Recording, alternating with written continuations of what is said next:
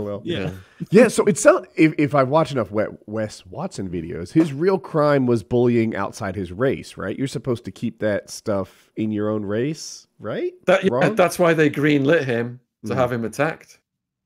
Yeah, Absolutely, he was violating the rules. Yeah, So you guys do fine in prison. I know you the just rules. mean like if you're gonna fuck with someone and you're in the Aryan gang, not like the head honcho guy, you you fuck with other Aryans. You don't go mess with the cholos Okay. or whatever you said the other. Hit- the deal is this: they want to keep the drugs business running. They want harmony to an extent. Now, if two black guys have got a beef, you know, go under the stairs, squash the beef. Two white guys have got a beef, go under the stairs, squash the beef. Black guy and white guy, same thing, go under the stairs, squash the beef. They don't want it igniting into a race riot. If you've got issues within your race, you go to your head, and the head makes the decision according to the convict code. So what was happening was multiple people who were getting bullied by SmackDown were going to their individual heads and saying, "Look, this guy's doing this to me. This guy's doing that to me. It's going against, you know, the racial Mhm. conduct. What's go- is something going to happen about this guy?" And so many people went to so many heads that the heads got together and they decided to end it by sending the three torpedoes in. Okay. You, you mentioned just then the the convict code. Now I'm sure you, Yeah. you've gone over some of that. You know, a lot of rules thus far just in this conversation. What Yeah. what's some of those kind of or bits of that code that those of us who've never been to maximum security prison would have no idea or maybe not expect? So you guys are probably hip to a lot of it already. Like snitches get stitches. You know, mm-hmm. sex offenders, the chomos, they're going to get stabbed up. KOS, kill on sight. Some offences are SOS, smash on sight. So, for example, drive-by shootings. If a woman and a excuse me, if a woman and kids get hit, especially in drive-by shootings, that happens a lot. They don't like that at all. Um, the gang members, the Mhm. heads. So you're going to get a beat down at least for a drive-by shooting. You know, if you know a guard from the streets, maybe you went to the same school, you knew a guard from some something, keep it to yourself because that will get exploited. If you start chatting to the guard, you're through because they're going to think you're snitching or you're grassing, you know, you're grassing someone out for. In England, they say grass means snitch. I know a lot of Americans don't understand that.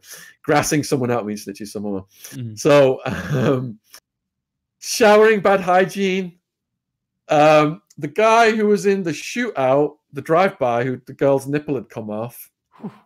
That guy, like I said, you know, he was this huge guy, like 300 pounds, and um, he was sweating constantly, and it was stinking a bit. So, the gang, the Chicanos, got together and had a meeting about him, a hygiene meeting and he was they they were either going to beat him up and make him roll up just end the problem right there but they allowed him to stay on the grounds that he had a shower every couple of hours and coated his ba- his uh, skin in baby powder after every shower So I think I must have spelled ripe every couple hours. they had to have a meeting to deal with Man, the this is fucking getting gross, man. So we know you can't snitch, right? Can you get away Yeah. with dry snitching? Like, so I watch these prison YouTube video genres, right? And and Mhm. an example of dry snitching, right? Maybe you beat me up, and then I'm all bruised and marked up. I go to the cafeteria and eat, right? That's my way of letting people know that shit went down, and, and, and maybe that's a way of telling on you without ever doing it. Do, do people get away with dry snitching at all, or is that stuff? I'll give you a story from Two Tony's book. So Two Tony's, you know, he was in decades before me, in the seventies and the eighties, and there was a young prisoner that he was he was talking to regularly, and he became friends with. And the guy only had a year left; he was going to get released. But the guy idolized the Aryan Brotherhood. He was rising up, and he wanted to earn his stripes.